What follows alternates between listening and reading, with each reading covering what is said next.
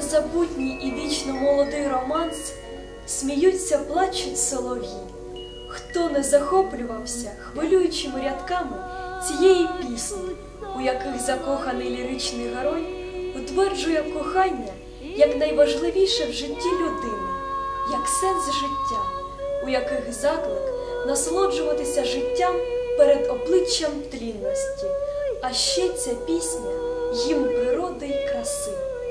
Пісня романс сміються, плачуть солов'ї, довго, довго вважалася народною, бо надто близький у ній мотив до народних пісень, і яким же відкриттям стало для багатьох, що автором слів до неї є Олександр Олесь. Олександр Олесь, псевдонім Олександра Івановича Кандиби, нашого земляка, якого зродила родова садиби в Білопіллі, а дитячі роки пройшли в хуторі Загір. Тут почав відливатися коштовний сплав характерних рис майбутнього письменника.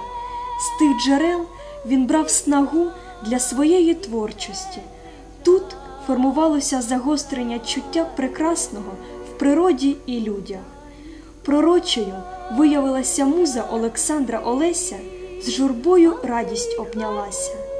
Назвою першої збірки поезії провістила вона драматичну долю його творчої спадщини, його особистого життя. Журба і радість ці два стани людських почуттів, переживань і настроїв переплелися не лише в першій збірці, а й стали ідейно емоційною домінантою всієї Олесової творчості. Сяйво Олесової журби й радості розлилося тоді, коли зеніту сягало поетичне слово Івана Франка, Лесі Українки, Бориса Грінченка. У літературний процес він увійшов разом з новою плеядою митців побратимів Володимиром Саміленком, Миколою Вороним, Григорієм Чупринкою, Сергієм Черкасенко, Миколою Чернявським.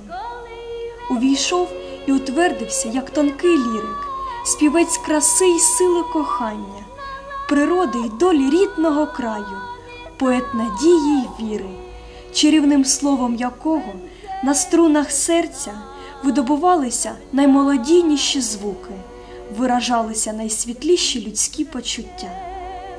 Трагічні події на Україні в 20-х роках минулого століття підштовхнули письменника до виїзду за кордон. На чужині Олександр Олесь жив Україною, марив рідною землею, до останніх днів вважав себе її сином, сподівався на повернення, але мрії так і залишилися нездійсненними. Так і донині почиває Олесь на чужині в могилі, на Ольшанському кладовищі в місті Празі разом зі своєю дружиною Вірою Кандибою та сином Олегом Ольжичем, закатованим нацистами у концтаборі Заксенгаузен. Сьогодні втретє повернувся Олександр Олесь до рідного народу. Було перше визнання, коли гримів своєю славою по Україні. Було друге, коли він повертався до нас після чорних сталінських ночей.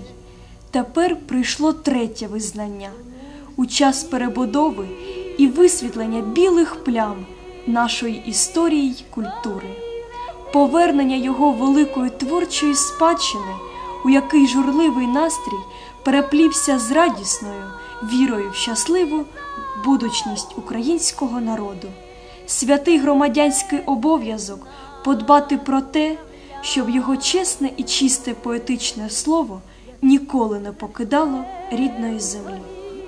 Тож я беру до рук збірку поезії нашого земляка Олександра Олеся і починаю ґрунтовно вивчати його творчість. Я мушу, я зобов'язана знати його твори, бо це твори великого українця.